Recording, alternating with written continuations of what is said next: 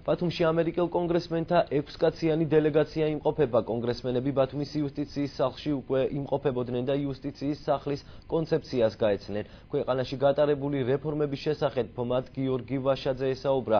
კონგრესმენები დღის განმავლობაში რამდენიმე ოფიციალურ შეხვედრას გამართავენ. ვიზიტის დეტალებზე პირდაპირ ეთერში ჩვენი კორესპონდენტი თამთა მეგრელიძე ისაუბრებს, თამთა რა შეხვედრები იგეგმება კიდევ ვიზიტის ფარგლებში. დიახ გიორგი როგორც თქვენ აღნიშნეთ ამერიკელმა კონგრესმენებმა უკვე დაათვალიერეს ბათუმის იუსტიციის სახლის სულ რამდენიმე წუთის წინ. დატოვეს მათ ეს შენობა.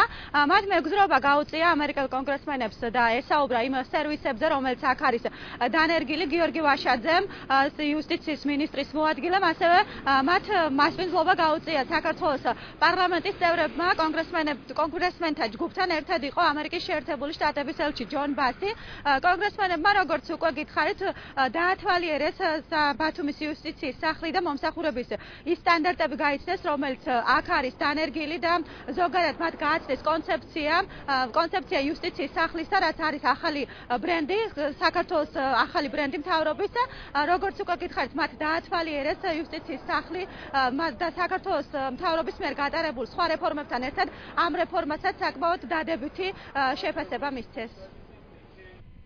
დელეგაციას ძალიან მნიშვნელოვანი სტუმრობა იყო იქიდან გამომდინარე რომ აუხსენით რაში მდგომარეობს ჩვენი რეფორმის შინაარსი აუხსენით იუსტიციის სახლის კონცეფცია აუხსენით იმ სერიოზული ასე ვთქვათ რეფორმების შესახებ რომელსაც ჩვენ ვაკეთებთ საქართველოში საკმაოდ მოხიბლული დარჩნენ თქვენ შეგიძლიათ ნახოთ მათი ასე ვთქვათ გაოცებაც.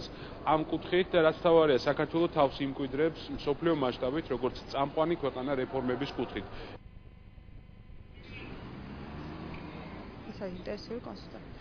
დიახ, დღეს ისინი შეხვდებიან ასევე საქართველოს პრეზიდენტსაც, ამერიკელ კონგრესმენთა ჯგუფს ბათუმში მიიღებს მიხეილ სააკაშვილი. განცხადება ამის შესახებ გააკეთა საქართველოს პრეზიდენტის პრესპიკერმა მანანა მაჯგალაძემ, როგორც მან აღნიშნა, ეს არის ამერიკულ პოლიტიკურ წრეებთან ინტენსიური თანამშრომლობის და პარტნიორობის გაგრძელება, რაც არის სტრატეგიული პარტნიორობის ფარგლებში ამერიკასა და საქართველოს შორის, რაც შეეხება იმ საკითხებს, რომელსაც ისინი პრეზიდენტთან შეხვედრის დროს განიხილავენ განხილავენ არის როგორც სავაჭრო ეკონომიკური სავაჭრო ეკონომიკური ურთიერთობები, ასევე უსაფრთხოება რეგიონში.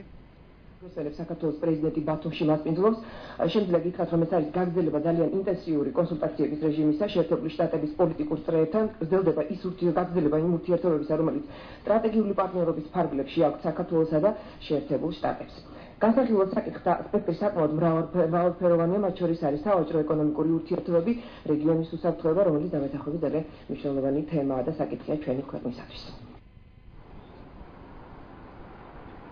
ამერიკელი კონგრესმენები დღესვე ბათუმში შეხვდებიან ოპოზიციური პარტიების სხვადასხვა პარტიების ლიდერებს მათთან როგორც წინასწარ არის ცნობილი საუბარი იქნება საარჩევნო გარემოზე საარჩევნო გარემოს გაუმჯობესებაზე. როგორც ჩვენთვის არის ცნობილი ამერიკელ კონგრესმენებს კონგრესმენთა 6 კაციან ჯგუფს ჯგუფში არიან როგორც დემოკრატი ასევე როგორც დემოკრატი ასევე კონგრესმენები და მათ ხელმძღვანელობს დონ ბარტონი